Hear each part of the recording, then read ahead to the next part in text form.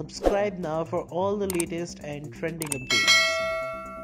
Bigg Boss season चौदह के घर के अंदर हाल ही में अभिनव शुक्ला और एजाज खान की बड़ी ही भयंकर लड़ाई होती है, जिनमें से एक्स कंटेस्टेंट्स जो हैं, वो अभिनव शुक्ला को सपोर्ट करते हुए नज़र आ रहे हैं और उनके पक्ष में ट्वीट शेयर करके कुछ कह रहे हैं क्या कुछ कह रहे हैं, बताते हैं आपको, लेकिन अगर अभी तक आपने हमारे चैनल इंटर न्यूज़ को सब्सक्राइब नहीं किया है तो चैनल को तुरंत सब्सक्राइब कर दें और बेल आइकन को भी ज़रूर दबा दें सारा गुरपाल, जो कि बिग बॉस सीज़न चौदह में नज़र आई थी, उन्होंने लिखा असली शेर Abhinav Shukla.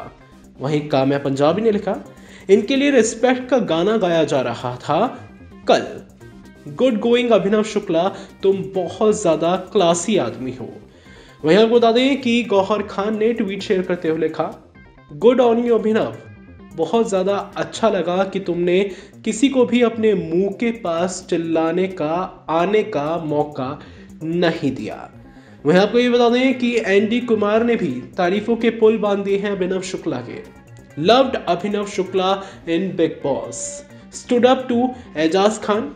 No over doing just bang on सही बंदा।